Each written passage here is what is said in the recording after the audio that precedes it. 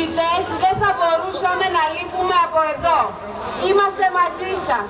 Αγροτιά, φοιτητές, ενωμένοι νικητές. Είμαστε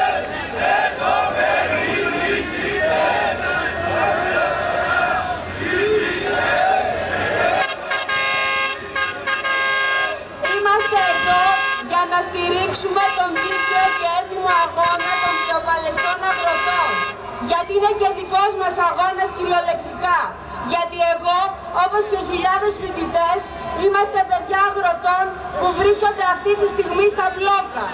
Όμως και παιδιά εργατών που πληρώνουμε αυτή την πολιτική που τσακίζει τους αγρότες και τις δικές μας τσέπες με τα πανάκριβα εμπορεύματα και τα κέρδη των ομίλων.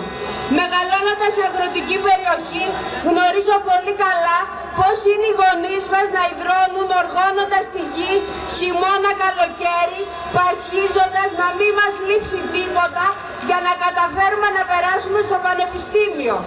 Αυτό το δικαίωμα στερείται τώρα κυβέρνησης που θέλει να φέρει τα ιδιωτικά πανεπιστήμια, που κάνει την αδικία που για τους πολλούς περιλαμβάνει ελάχιστη βάση εισαγωγής και για κάποιους ελάχιστη βάση πληρωμής, που ενισχύει την επιχειρηματική δράση στα πανεπιστήμια με πτυχία διαβατήριο για την πιο σκληρή εκμετάλλευση, κακοπληρωμένη δουλειά, ανεργία.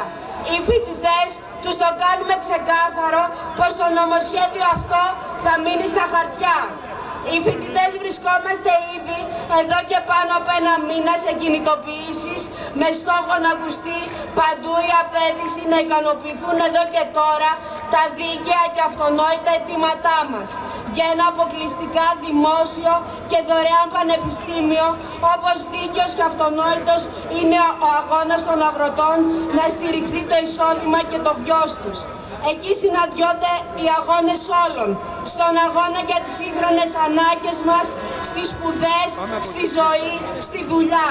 Στον αγώνα ενάντια στην πολιτική των μεγάλων επιχειρηματικών ομίλων και της Ευρωπαϊκής Ένωσης την ίδια στιγμή που μαθαίνουμε στο Πανεπιστήμιο για πράσινη μετάβαση και φύγη γεωργία, για τρόπους βελτίωσης και μεγιστοποίησης της παραγωγής στον αγροδιατροφικό τομέα, ακριβώς την ίδια στιγμή δεν μπορούμε να φάμε ένα ποιοτικό πιάτο φαγητό στη σχολή μας, την ίδια στιγμή που στο σούπερ μάρκετ βασικά προϊόντα είναι πανάκριβα, την ίδια στιγμή που οι αγρότες στενάζουν από τα νέα μέτρα που φέρνει η κοινή αγροτική πολιτική.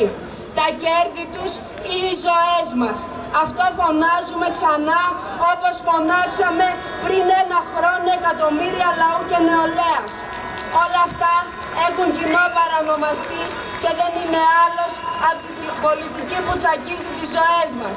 Από την πολιτική όλων των μέχρι τώρα κυβερνήσεων, από την πολιτική της Ευρωπαϊκής Ένωσης και των επιχειρηματικών ομίλων, από την πολιτική που βλέπει της ζωής μας σαν κέρδος. Είναι η ίδια πολιτική που πριν από ένα χρόνο οδήγησε στο έγκλημα στα τέπη και έχασαν τη ζωή τους οι μας. Ως εδώ παίρνουμε την κατάσταση στα χέρια μας και όλοι μαζί, φοιτητές, αγρότες, εργαζόμενοι, να δυναμώσουμε την πάλη ενάντια σε όλους αυτούς που μας στερούν τα όνειρα, που μας στερούν το χαμόγελο και το δικαίωμα στη ζωή. Είναι παραπάνω από ελπιδοφόρα η σημερινή εικόνα με τα εκατοντάδες τρακτέρ να έχουν κατακλείσει το κέντρο της Αθήνας. Είναι η εικόνα που δείχνει η πραγματική πλειοψηφία που έχει δύναμη και φωνή.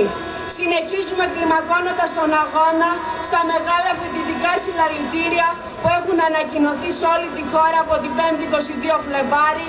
Κλιμακώνουμε τις κινητοποιήσεις της ημέρας, την ημέρα ψήφισης του νομοσχεδίου.